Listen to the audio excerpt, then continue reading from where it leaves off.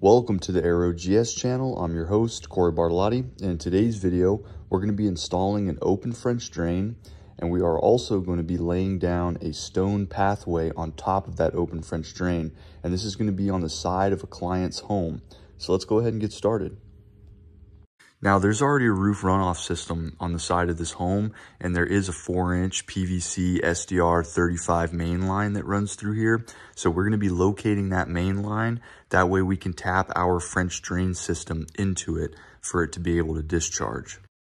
Before beginning any excavation, remember to call 811. That way they can come out there and mark any utility lines that may be in the area. And keep in mind, you still want to make sure that you dig slowly because their markings are not always accurate.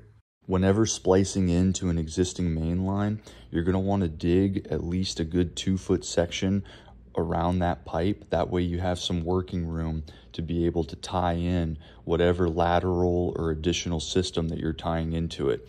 Now this particular main line is actually straight piped onto the sidewalk so it has a straight pipe discharge and this is the best type of discharge that you can have for a drainage system.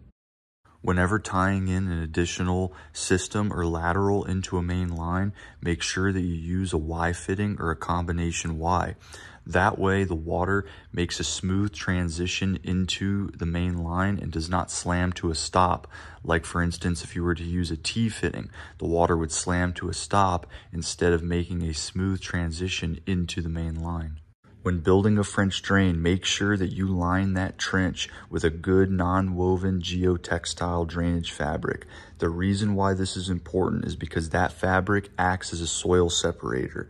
It keeps the soil from migrating into the stone over time, clogging the voids. This will make it harder for water to get to your perforated French drain pipe to enter your system. This fabric is important. I cannot stress this enough. Without this fabric, your system will fail over time. It will work slower and slower and slower each year that goes by until one year the French drain stops working completely because all of the stone has compacted with the surrounding soil. The pipe that we will be using at the bottom of our trench is the French Drain Man high octane slotted pipe. These slots allow a lot more water to pass freely through the system to be discharged out, as well as silt and sediment that may get into the system. Now, you want to keep your pipe at the bottom of the trench. The reason for this is so that we can evacuate as much water out as quickly as possible. If you put a layer of stone at the bottom of the trench and then put the pipe on top of that stone, you're going to have water always sitting at the bottom of that trench. You do not want this.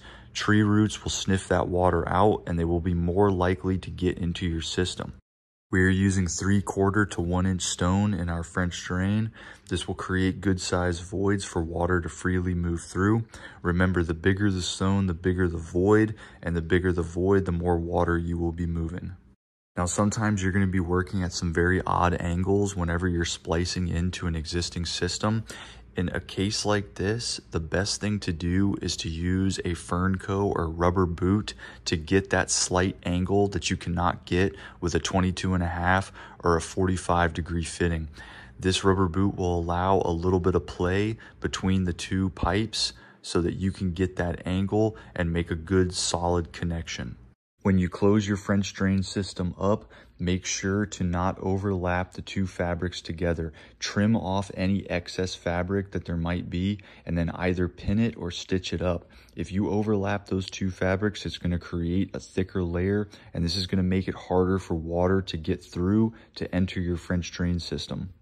Once we have our French drain completely stitched up, we're going to be putting weed barrier on both sides of it, but we are not going to cover the French drain with the weed barrier. This is very important because weed barrier fabric does not allow water to pass through as freely as geotextile fabric does. So we're going to leave the vein of the French drain completely open and only have the weed barrier on the sides to help keep weeds and grass and stuff like that from growing through the drainage rock that we're going to be putting down in this entire area.